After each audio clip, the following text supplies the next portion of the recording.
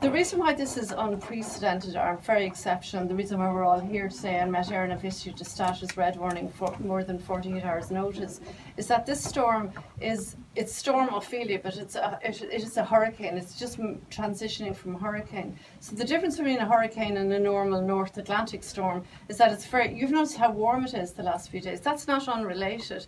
That's because we have warm tropical air moving up across Ireland. And this this Atlantic or this um, hurricane has got caught up in the jet stream and brought it up over Ireland. So our warm weather now is, is not unrelated. And so you get a lot more moisture from warm tropical air than normal cold North Atlantic air. So there's potentially 100 millimetres, um, 50 to 100, but we're very uncertain because it depends on the exact track and it could be a lot less in the east. Uh, this is the 10th consecutive hurricane this season so far.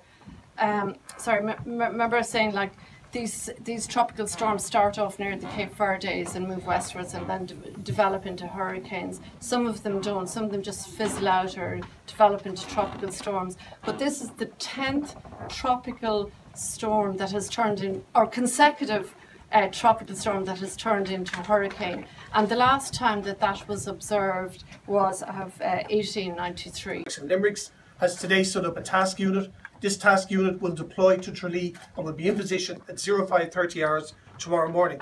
In addition, we're also standing up troops in Cork, Galway and Kilkenny ready to respond in the event there's a requirement from the local authorities in their areas. We're also standing up engineering assets in Collins Cork. This engineering unit will include pumps, plant machinery, chainsaws, boats and generators all ready to deploy in the event that there's a requirement for that sort of capability. The Defence Forces stands ready to deploy additional assets if and when called upon by the primary response agencies.